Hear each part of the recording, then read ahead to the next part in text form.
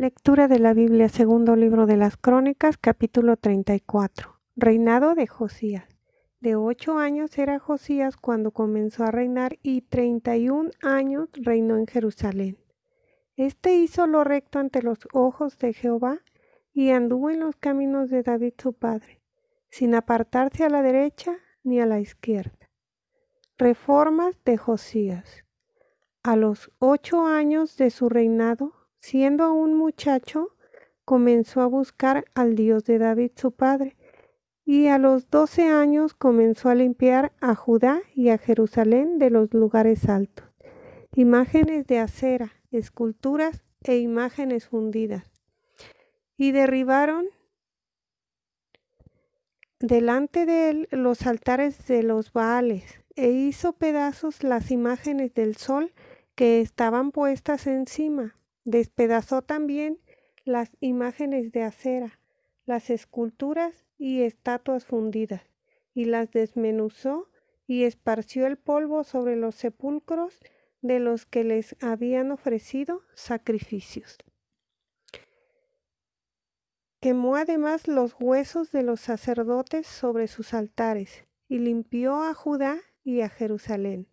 Lo mismo hizo en las ciudades de Manasés, Efraín, Simeón y hasta Neptalí, y en los lugares asolados alrededor.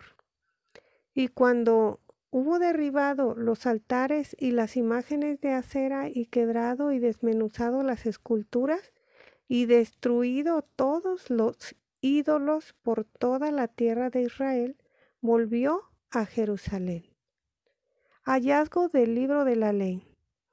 A los dieciocho años de su reinado, después de haber limpiado la tierra y la casa, envió a Safán, hijo de Azalía, a Maasías, gobernador de la ciudad, y a Joa, hijo de Joacás, canciller, para que reparasen la casa de Jehová, su Dios. Vinieron estos al sumo sacerdote Hilcías, y dieron el dinero que había sido traído a la casa de Jehová que los levitas que guardaban la puerta habían recogido de mano de Manasés y de Efraín y de todo el remanente de Israel, de todo Judá y Benjamín y de los habitantes de Jerusalén. Y lo entregaron en mano de los que hacían la obra, que eran mayordomos en la casa de Jehová, los cuales lo daban a los que hacían la obra y trabajaban en la casa de Jehová para reparar y restaurar el templo. Daban asimismo a los carpinteros y canteros para que comprasen piedra de cantería y madera para los amazones y para la entabladura de los edificios que habían destruido los reyes de Judá. Y estos hombres procedían con fidelidad en la obra, y eran sus mayordomos Jaat y Abdías, levitas de los hijos de Merari, y Zacarías y Mesulam, de los hijos de Coat, para que activasen la obra, y de los levitas, todos los entendidos en instrumentos de música. También velaban sobre los cargadores, y eran mayordomos de los que se ocupaban en cualquier clase de obra y de los levitas había escribas, gobernadores y porteros. Y al sacar el dinero que había sido traído a la casa de Jehová, el sacerdote Hilcías halló el libro de la ley de Jehová dada por medio de Moisés.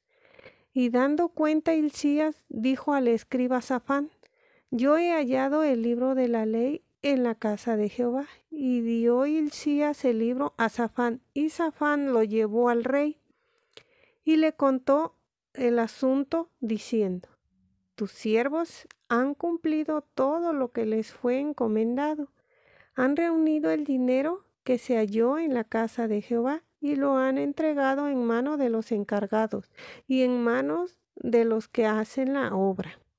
Además de esto, declaró el escriba Safán al rey diciendo, el sacerdote Hilcías me dio un libro y leyó Safán en él delante del rey. Luego que el rey oyó las palabras de la ley, rasgó sus vestidos Y mandó a Hilcías y a Icam, hijo de Safán, y a Abdón, hijo de Micaía, y a Safán, escriba, y a Asaías, siervo del rey, diciendo, Andad, consultad a Jehová por mí y por el remanente de Israel y de Judá acerca de las palabras del libro que se ha hallado. Porque grande es la ira de Jehová que ha caído sobre nosotros, por cuanto nuestros padres no guardaron la palabra de Jehová para hacer conforme a todo lo que está escrito en este libro. Entonces Hilcías y los del rey fueron a Hulda, profetisa, mujer de Salún, hijo de Tigba, hijo de Arás, guarda de las vestiduras, la cual moraba en Jerusalén en el segundo barrio, y le dijeron las palabras antes dichas. Y ella respondió, Jehová Dios de Israel ha dicho así, decida al varón que os ha enviado a mí, que así ha dicho Jehová.